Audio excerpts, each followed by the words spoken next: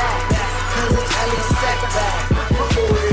Bob Arum talks to the media about Manny Pacquiao, Juan Manuel Marquez. Check it out. To talk to both camps and go over. But, you know, I really, I, I, I, first time it ever happened to me, I, I was walking, you know, through that mob scene to the press conference, and all the Mexicans are booing me. They said, you stole the fight, you stole the fight. I, I, I, I had anything to do with anything. I mean, so, but I know there's a lot of, uh, you know, and, and, I'm, and I'm not demeaning that. I mean, See how he had that. it- it- when you get a fight like this, where so many rounds were close, if you're rooting for one or the other guy, just don't think you can say. you tend to score those close rounds for your guy.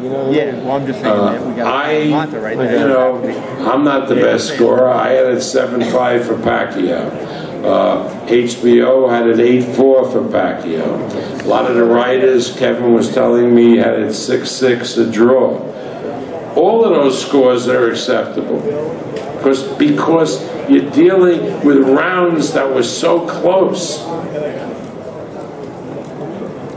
Not only was this fight not definitive as between these two guys, very few rounds were definitive.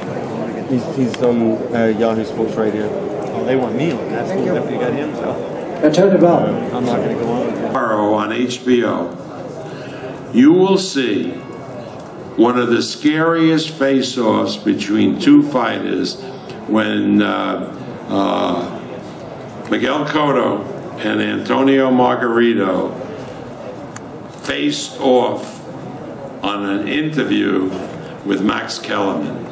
That is scary, scary theater.